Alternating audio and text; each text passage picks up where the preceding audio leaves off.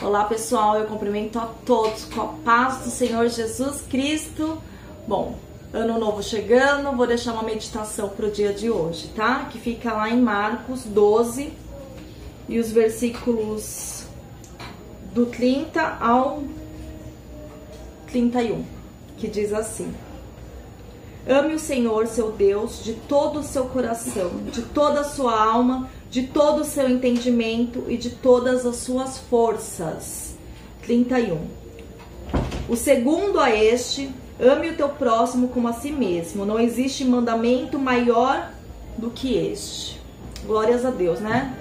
Amar o nosso próximo, né? A mais do que mais do que nós mesmos, né? E o nosso próximo, além é, dos familiares, dos amigos, daqueles que estão próximos. Amar ao próximo é amar a todos, todos, todos.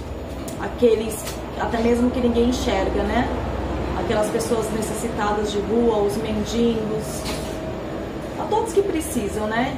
Que muitos passam e, e acabam não enxergando. Então, que a gente possa amar, amar verdadeiramente ao próximo, né?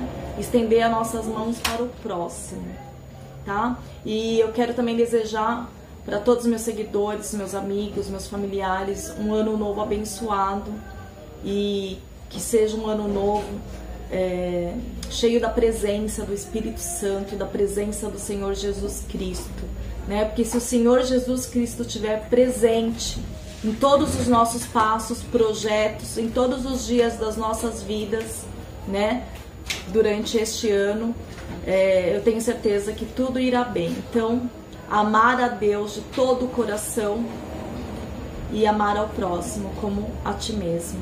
Que o Senhor Jesus Cristo abençoe grandemente a cada lar e que Ele alcance a cada família com a tua paz, aquela verdadeira paz que só vem do Senhor Jesus Cristo. Feliz Ano Novo! Tchau!